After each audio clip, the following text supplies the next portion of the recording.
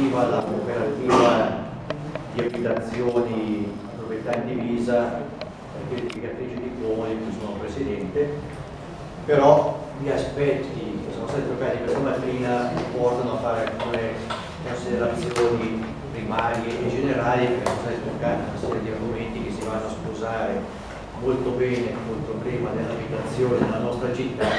probabilmente richiederebbero forse anche una riflessione molto più ampia e forse autonoma su questo aspetto. Credo che il problema dell'invecchiamento, della città che diminuisce, il problema sociale, le persone che sono sole, ecco, si sposano molto bene con quello che è il problema dell'abitazione che noi abbiamo un modo direi abbastanza anche pesante. Io eh, volevo partire quindi da due considerazioni di carattere globale e cioè che eh, a mio modo di vedere due dei pilastri fondamentali su cui si basa qualsiasi situazione di dignità umana, di vita dignitosa, sono sicuramente il lavoro e l'abitazione. E molto spesso questi due pilastri rappresentano anche il confine tra la possibilità di avere una vita dignitosa e magari il baratro di un problema di disperazione o di crisi anche sociale e economica. E un altro dato che è fondamentale per parlare di abitazione è che ovviamente la crisi di questi anni, la politica liberista che è stata attuata, ha portato, è stato molto detto, detto anche all'inizio, eh, un aumento di quella che è la forbice tra coloro che stanno molto bene e coloro che invece stanno invece molto, molto meno bene, stanno anche alimentando molto più molto e molto anche velocemente quella che è la parte più fragile popolazione ma quindi può investire anche il problema dell'abitazione. Eh, io mi ero cercato qualche dato mm, così, su questa cosa qua e vedo che c'è un, uno studio della Conf Cooperative che ero parlando sul problema della crisi economica e sul lavoro povero, le pensioni, il ritardo dell'aumento del mondo del lavoro, ci dice che eh, c'è il rischio che ci siano oltre 5 milioni di lavoratori che se questa tendenza non dovesse cambiare potrebbero alimentare quella la fila dei poveri nel nostro paese entro il 2050 e quindi questo diventa un fatto estremamente importante anche nei confronti del problema dell'abitazione. Perché abbiamo visto che la crisi economica ha investito in modo pesante anche il settore dell'edilizia e il settore dell'abitazione e ci troviamo di fronte a una vera e propria emergenza abitativa. Ci sono degli studi che dicono che quando il canone, parlo di ovviamente eh, locazioni eh, di carattere anche economico, quando il canone supera il 30% del reddito familiare rischiamo di cadere in un discorso di disagio abitativo che può portare poi alla impossibilità di far fronte al pagamento di questo canone. Eh, ci sono alcuni studi legati alla nostra città, alcuni dati che cerco di dare velocemente. Eh, noi abbiamo uno studio fatto dal servizio aeroportuale della CISL che ci dice che della CISL, della UIL, scusate, che nel 2017 sul nostro territorio sono stati emessi 514 brevetti di sfratto e di questi ben 400 sono legati al problema della morosità che spesso è anche una morosità incolpevole in quanto è determinata dal prezzo del posto di lavoro, c'è una situazione di carattere sociale. Quindi si evidenzia come un, di questo problema una buona parte legata proprio al problema dal punto di vista sociale della carenza economica quindi della crisi verificata. Sul nostro territorio noi abbiamo eh, la, una grossa presenza di alcune istituzioni pubbliche su quella dell'abitazione, che sono l'ALER e il Comune di Como. L'ALER, che ha circa 4.100 alloggi provincia ha però 1100 alloggi nel comune di Como. Di questi 1100 alloggi, stando alla stima del 2016, risulta che eh, vi siano mh, oltre 600 domande di persone che chiedono di avere un alloggio all'ALER eh, a fronte di una disponibilità annua che è di circa 50-60 appartamenti da parte dell'ALER. Quindi possiamo dire che l'ALER riesce, secondo questi studi, a soddisfare mediamente il 10% della richiesta di abitazione che, ha ogni anno. Il Comune di Como, che è l'altro invece grosso possessore di alloggi, ha degli alloggi, questo è un dato non, non recentissimo, 2015 mi pare, 760 alloggi di edilizia residenziale pubblica, di cui però ne ha circa il 30%, quindi 250 inagibili, ha una morosità altissima e eh, un dato del Comune di Como che solo nell'anno 2014 i servizi sociali del Comune di Como hanno ricevuto oltre 110 domande di abitazione da parte di soggetti deboli. Quindi ci rendiamo subito conto di come il problema dell'abitazione in Como per quanto riguarda i soggetti deboli, quindi non per quanto riguarda il libero che invece può essere anche florido, e ne abbiamo girato anche prima, il mercato eh, e i soggetti deboli, il problema dell'abitazione è un problema veramente importante. Eh, oltre a queste due eh, istituzioni di cui ho parlato di area comune, sul comune di Como per fortuna esistono anche altre realtà, in particolare alcune cooperative, che operano nel campo dell'abitazione e che in particolare hanno il loro eh, oggetto sociale in modo prioritario quello dell'assegnazione degli alloggi a proprietà indivisa, cioè quindi regolate assegnazione degli alloggi affitto, è chiamato in modo diverso in cooperativa in quanto è assegnazione dell'alloggio in godimento al socio della cooperativa che peraltro è un'assegnazione a tempo illimitato, quindi durata limitata, purché il soggetto paghi ovviamente l'affitto, paghi il canone, di godimento e rispetto a quelli che sono i regolamenti della cooperativa. La cooperativa di cui faccio parte io è una cooperativa, eh, forse la più storica di Como, questo punto di vista, ed è importante anche, eh, riassumo, quindi faccio velocemente perché il tempo è poco, è una cooperativa storica fondata nel 1901, eh, probabilmente allora c'era una sensibilità anche maggiore rispetto ai problemi della, della, della città e ai problemi della gente è stata infatti costituita da eh, Aristide Vari, il quale aveva individuato la necessità di dare dell'abitazione agli operai e alle loro famiglie che venivano appunto a lavorare. Quindi è nato in questo modo, oggi dopo eh, 120 anni la cooperativa ha 2600 soci, ha all'interno della città di Como eh, oltre 1000 appartamenti dati in movimento, eh, quindi con 1600 abitanti Como e altri diversi immobili di carattere commerciale. E proprio che dicevo che la sensibilità era molto diversa ai tempi, eh, devo dire che il patrimonio della cooperativa che è sotto Como è stato creato per la maggior parte dei primi, nei, primi 30 anni della cooperativa. Tant'è vero che dal 1900-1950 la cooperativa ha realizzato il 70% del suo patrimonio immobiliare, perché in quel momento c'era periodo di situazione diversa, c'erano dei, terreni, c'era la possibilità da parte di tanti industriali di Como di partecipare, di contribuire, aiutare la cooperativa a creare questo patrimonio e quindi eh, in questi anni sono stati creati veramente la maggior parte di quello che è il patrimonio immobiliare della cooperativa. Tanto è vero che successivamente nel 1950 fino al 2000 eh, la cooperativa ha potuto solo completare due quartieri che sono un quartiere che abbiamo in via Zezio e uno in via Paninani e che sono stati eh, possibili fare grazie ad alcuni contributi della Cassa di risparmio e al sostegno dell'amministrazione eh, comunale. Che per alcuni anni ha dato anche una certa attenzione a quella che era l'attività della cooperativa, delle attività delle cooperative e tant'è vero che l'ultimo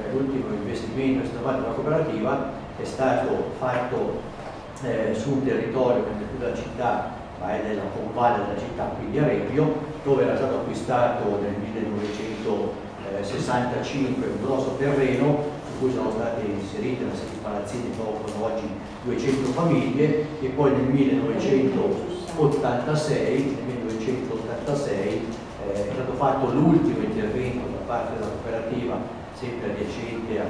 questo terreno di Reggio, dove è stato un altro terreno per il comune e sono state costruite 70-80 appartamenti, che è stato tutto l'ultimo intervento che è stato fatto dalla cooperativa.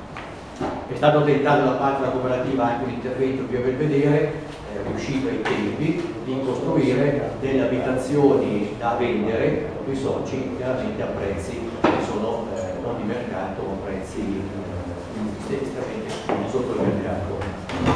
Come dicevo, le ultime costruzioni della cooperativa risalgono al 1986. Dopodiché, ovviamente, essendo un patrimonio eh, che è stato costruito, dicevo, nei primi anni 50, abbiamo verificato che era un patrimonio totalmente inadeguato a quelle che sono le esigenze di oggi. oggi abbiamo chiaramente delle, dei quartieri anche abbastanza popolosi dove tanta gente eh, anziana, quindi ha delle esigenze diverse, per esempio gli alloggi una volta erano tutti fatti senza gli ascensori, oggi tutto avviare un programma di ristrutturazione di quello che è il nostro patrimonio, installando laddove possibile appunto quelli che sono gli ascensori, abbiamo dovuto rivedere quelli che erano gli appartamenti costruiti ai tempi che avevano i locali col bagno sul balcone, eh, quindi abbiamo un grosso programma di revisione perché gli alloggi di allora non sarebbero più attuali rispetto a quelli che sono di oggi. E quindi la cooperativa non ha più potuto costruire nuove abitazioni ma si è dedicata a quello che è un percorso di ristrutturazione dei fabbricati più vecchi per realizzare appartamenti più grandi dotati di mezzi servizi necessari degli ascensori e cercando poi laddove la nostra eh, popolazione, i nostri utenti per fortuna finché non muore il poverino, possono comprarsi una casa, non vanno via, abbiamo cercato anche di eh, cercare di eh, amalgamare un pochettino quelli che sono le vecchie, i vecchi soci che ci abitavano, dando le nuove abitazioni magari a qualche famiglia giovane, qualche giovane, da creare quindi una situazione di questo tipo.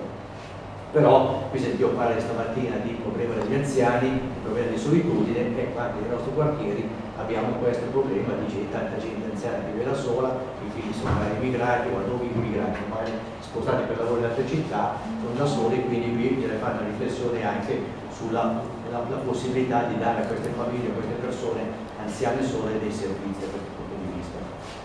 Eh, abbiamo avviato un percorso che però è giusto uh, forse neanche la metà, in quanto abbiamo sistemato eh, 600 appartamenti, però ne abbiamo ancora altri 300 che sono in fase di sistemazione. Eh, dobbiamo, devo dire una cosa all'interno di questo, che eh, da un certo punto in avanti la cooperativa, la cooperativa ma le cooperative, perché io parlo della cooperativa mia, ma la nostra cooperativa, ma anche altre cooperative, eh, ovviamente non ha ottenuto, per mille motivi, da parte delle istituzioni, quindi parlo comune, la provincia, la regione, quell'attenzione che in passato era stata riservata. Per cui eh, non abbiamo, abbiamo, avuto, abbiamo fatto una serie di eh, interventi, per esempio nel 2009 è stato fatto nell'ambito del programma regionale emergenza casa e non abbiamo ottenuto alcuna eh, sovvenzione, mentre per quanto riguarda alcune richieste presentate nel 2010, perché abbiamo fatto degli interventi di situazione pesante in Diocese e Via Perlasca, abbiamo ottenuto delle contribuzioni regionali che sono però considerate minime. Tanto per darvi un'idea, la cooperativa con i propri mezzi propri, perché la cooperativa vive solo quelli che sono i canoni che ci pervengono dalle persone che ci abitano, ha avviato adesso un, uh, un programma di ristrutturazione di una palazzina a Como in Bilanciato che porterà in giù di un anno e mezzo a avere 30 nuovi appartamenti. Eh, per la cooperativa si tratta di un investimento di circa 2 milioni e mezzo, 3 milioni di euro. La eh, Regione Lombardia eh, aveva aperto un bando e ci darà un contributo sugli interessi che noi andiamo a pagare per i tributi che facciamo di 400-450 mila euro. Tutto il resto è a carico della cooperativa che deve far fronte con gli introiti che sono da parte della, del, del, dei canoni. Eh, per quanto riguarda i canoni, la cooperativa ha cercato, un, ha un concetto, applicare canoni sostenibili quindi non ci, non ci riferiamo, abbiamo avuto delle grosse discussioni anche nel Consiglio di amministrazione, non guardiamo all'OME, al libero mercato, ma ragioniamo un pochettino quelli che possono essere i canoni sostenibili per per le persone che vanno ad abitarci. Eh, noi abbiamo dovuto due anni fa, perché le nostre entrate sono solo legate ai canoni, eh, aumentare in modo sensibile quelli che erano i canoni delle nostre abitazioni, eh, anche se però devo dire che eh, fino a tre anni fa eh, nelle nostre abitazioni si pagava per quanto riguarda uno o tre locali eh, i 200 e 300 euro al mese, eh, oggi abbiamo aumentato e si paga dai 300 ai 400 euro al mese, a seconda che si tratti di appartamenti ristrutturati o non ristrutturati, però i nostri canoni sono generalmente di questa entità. Eh, ovviamente se eh,